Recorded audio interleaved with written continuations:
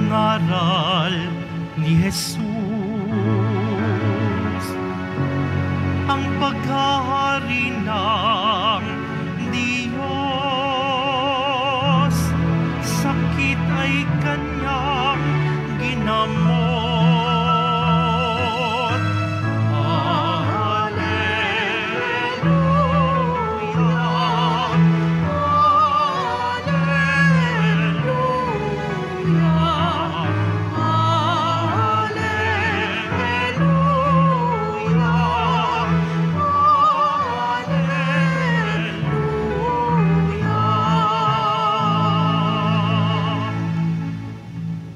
Sumainyo ang Panginoon. At sumaiyo rin, Ang mabuting balita ng Panginoon ayon kay San Mateo. papuri sa iyo, Panginoon. Noong panahong iyon, nabalitaan ni Jesus na ibinilanggo si Juan. Kaya't bumalik siya sa Galilea. Ngunit hindi na siya sa Nazaret na nirahan, kundi sa Capernaum. Ang bayang ito ay nasa baybayin ng lawa ng Galilea, sa mga hangganan ng Zabulon at Neftali. Sa gayoy natupad ang sinabi ni Propeta Isaías. Ang lupain ng Zabulon at lupain ng Neftali, daanan sa gawing dagat sa ibayo ng Hordan, Galilea ng mga hentil. Itong bayang nag-apuhap sa gitna ng kadiliman, sa wakas ay nakakita ng maningning niyang ilaw. Liwanag na taglay nito'y siya ngayong tumatanglaw sa lahat ng nalugami sa lilim ng kamatayan. Magmula noon ay nangaral na si Jesus. Ang sabi niya, Pagsisihan ninyo talikdan ang inyong mga kasalanan, sapagkat malapit nang maghari ang Diyos. Sa paglalakad ni Jesus sa tabi ng lawa ng Galilea, nakita niya ang dalawang mangingisda, si Simon na tinatawag na Pedro at ang kapatid niyang si Andres. Sila'y naghahagis ng lambat. Sinabi niya sa kanila, Sumunod kayo sa akin at gagawin ko kayong namamalakaya ng mga tao. Noon di iniwan nila ang kanilang mga lambat at sumunod kay Jesus. Nagpatuloy siya sa paglakad at nakita rin niya ang magkapatid na Santiago at Juan, mga anak ni Zebedeo. Sila'y nasa bangka kasama ng kanilang ama at naghahayuma ng lambat. Tinawag din nila sila ni Jesus.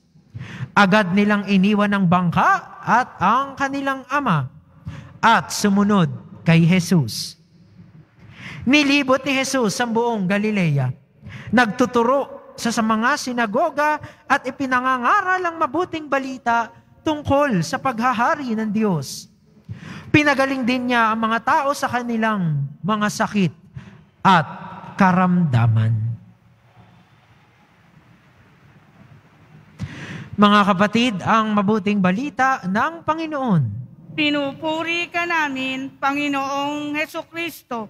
Magsiupo muna ang lahat. Muli po sa mga naririto, gayon din ang mga sumusubaybay sa atin sa pamamagitan ng live streaming, magandang umaga po sa inyong lahat. At sa mga kapatid nating nasa ibang panig ng daigdig, isang mapagpalang araw po. Ngayon ay ikatlong linggo sa karaniwang panahon. Araw ng pasasalamat, araw ng pagdaing ng ating mga panalangin at kahilingan, araw ng pagdedebosyon sa ating Nuestro Padre Jesus Nazareno. Sa iba po sa atin ay araw ng pamamahinga at dahil po sa lahat ng ito, pasalamatan natin ang ating Panginoon, palakpakan po natin siya.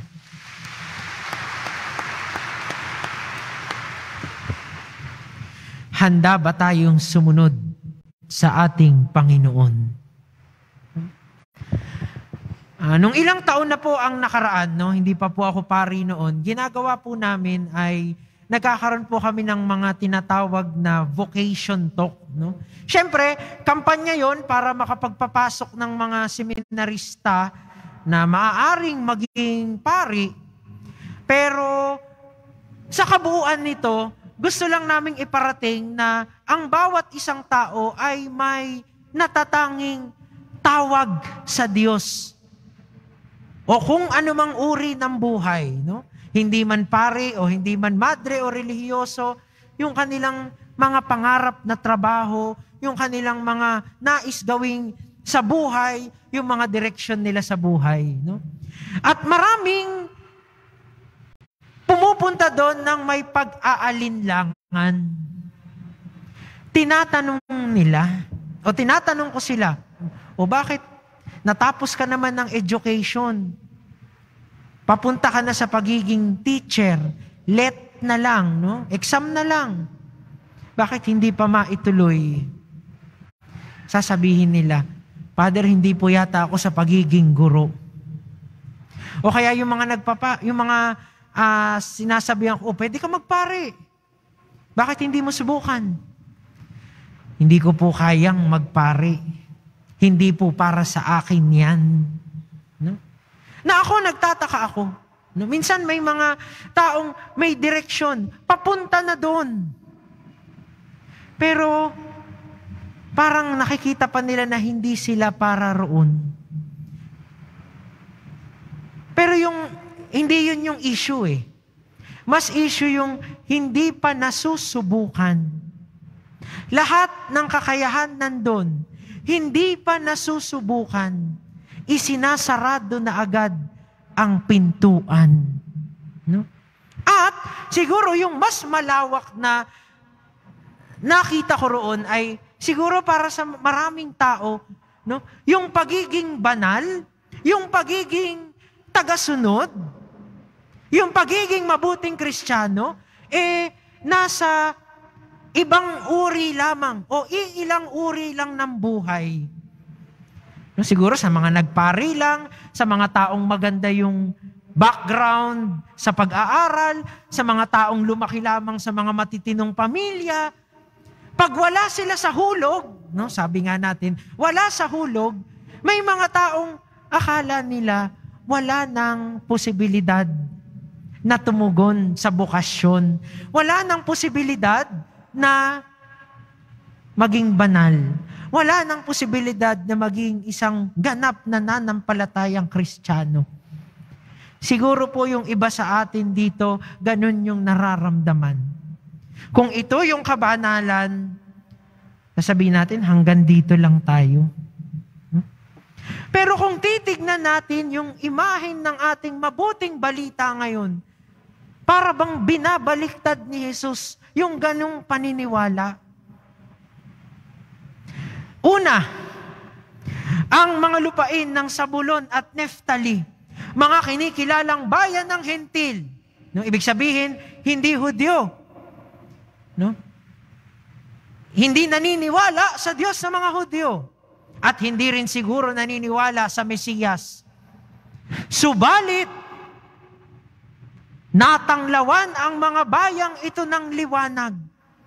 Subalit, ang Diyos mismo ay tumungo sa mga bayang ito. Ibig sabihin, hindi lang siya Diyos ng mga Hudyo, hindi lang Hudyo ang banal. Hindi lang Hudyo ang pinili ng Diyos. Subalit sa pamamagitan ng Mesiyas na kinikilala ng mga Hudyo, tinitipon niya pati ang mga taong siguro kakaunti o walang pagkakakilala sa Diyos. Dagdag pa ron. Ano ang tinawag ni Jesus? Hindi ang mga matatalinong eskriba, hindi ang mga banal na pariseyo, hindi ang mga dalubhasa. Ang una niyang mga apostol, mga tumugong apat na mangingisda. Karaniwang tao siguro alam lang yung batas sa kung paano ito isinasabuhay, alam lang yung Mesiyas, bilang bahagi ng kanilang mga kwento at mga ritual. Pero sila ang tinawag.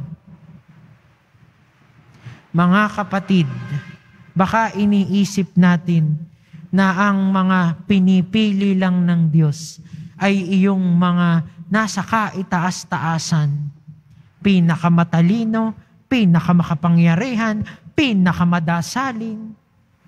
pinakamaraming oras ng pagsiserve sa simbahan. Pero kung tutuusin, pumapangalawa na lang yun.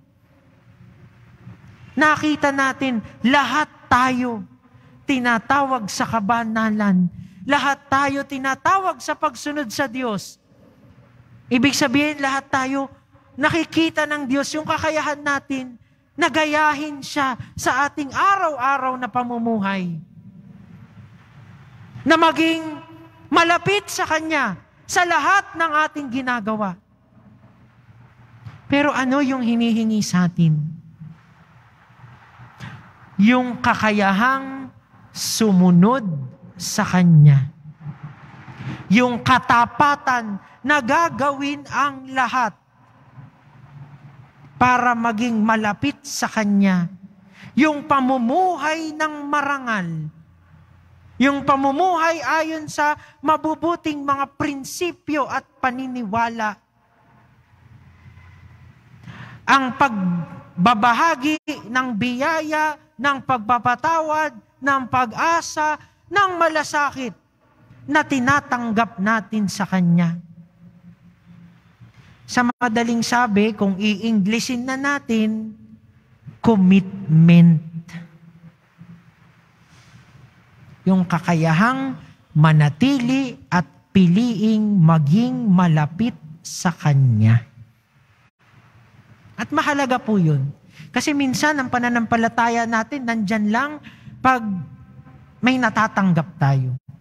Ang pananampalataya nandyan lang kapag may mga araw na wala tayong problema. Ang pananampalataya nandyan lang kapag nasa buhay tayong komportable.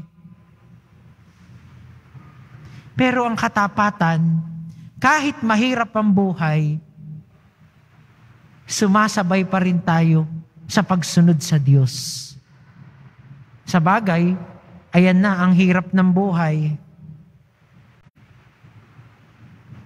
Daladala ang krus, pero nananatiling tapat sa Ama. Ang katapatan, sa gitna ng daming problema, pinipili pa rin ang mabuti. Ang katapatan, kapag natutokso na tayo ng mga bagay na alam natin pag hinawakan natin at lalo natin hinigpitan ng hawak, eh isusuko na natin yung lahat ng prinsipyo natin, nananatili pa rin tayo sa kabutihan. Ang katapatan, yung pagpili sa Diyos sa kabila ng lahat. Yung pagpili sa Diyos sa pagdaan sa lahat. Mapabuti man, mapasama man, mapasaya man, mapalungkot man. Iyon lang naman ang hiningi ng Diyos sa mga tagasunod niya. At iyon din po ang hinihingi sa atin.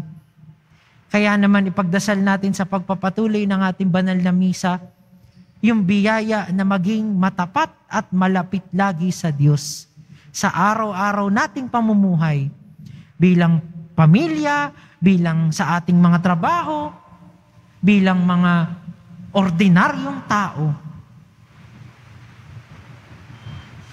At baka sa pagiging tapat na doon, makita natin na ang tunay na kabanalan, ang tunay na pagiging tapat sa Diyos ay hindi malayo sa atin. Paano kaya tayo magiging tapat sa Diyos? Mahal na pong Jesus Nazareno, maawa ka sa amin.